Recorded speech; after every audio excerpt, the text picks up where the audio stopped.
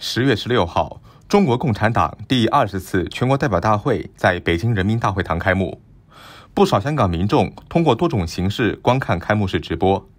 服务香港基层多年的区议员刘佩玉表示，他十分关注香港民生问题，期望二十大以后，香港可以继续发展经济，改善民生。咁我自己都亲身呢，系啊，诶，即系观睇咗呢，系啊呢个嘅开幕礼啦。咁诶。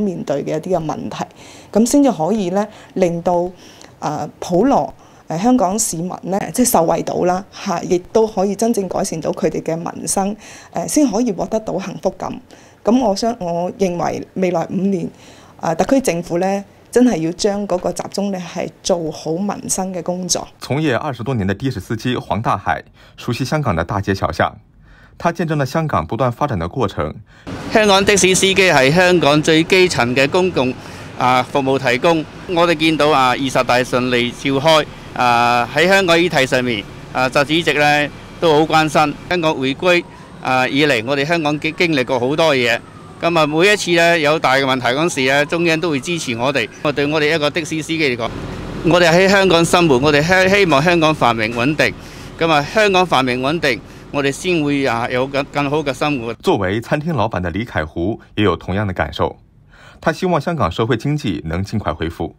希望二十大后嘅发展路线能够加快国家经济发展，带动香港日后嘅经济复苏。今年二十五岁的李婉荣是一名青年香港医生，虽入行时间不长，但过去两年，无论是内地援港医疗队的支援，还是中央援建社区隔离设施的建设，都让他感受到国家对香港的支持。